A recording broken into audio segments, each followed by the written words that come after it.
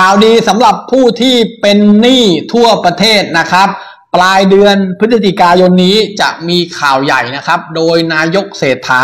จะถแถลงเกี่ยวกับการแก้ปัญหาหนี้ทั้งระบบเพื่อช่วยเหลือพี่น้องประชาชนที่เป็นหนี้อยู่นะครับ โดยคุณเศรษฐาทวีสินนายกรัฐมนตรีนะครับ กล่าวถึงกรณีที่ประชุมคณะกรรมการกำกับการแก้ไขหนี้สินของประชาชนรายย่อย เห็นชอบแนวทางแก้ปัญหาหนี้กองทุนให้กู้ยืมเพื่อการศึกษาหรือว่ากยศซึ่งจะคำนวณภาระหนี้ของลูกหนี้ที่ยังชำระไม่หมด ให้กลับไปคำนวณเงินต้น และลูกหนี้ที่ชำระมากกว่า 150%สามารถหยุดจ่ายหนี้ได้ ว่านี่คือนโยบายแก้ไขปัญหาหนี้สินโดยรวมของรัฐบาลนี้ ทั้งหนี้กยศ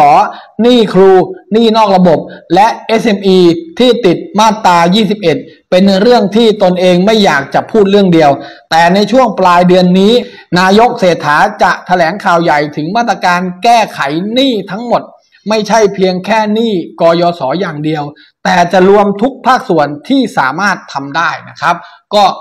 รอฟังข่าวดีเกี่ยวกับมาตรการ แก้ไขปัญหาหนี้ชุดใหญ่ครั้งใหญ่ของประเทศเพื่อช่วยเหลือพี่น้องประชาชนที่เป็นหนี้อยู่นะครับ ปลายเดือนพฤศจิกายนนี้ นายกถแถลงใหญ่ชัดเจนแน่นอนครับ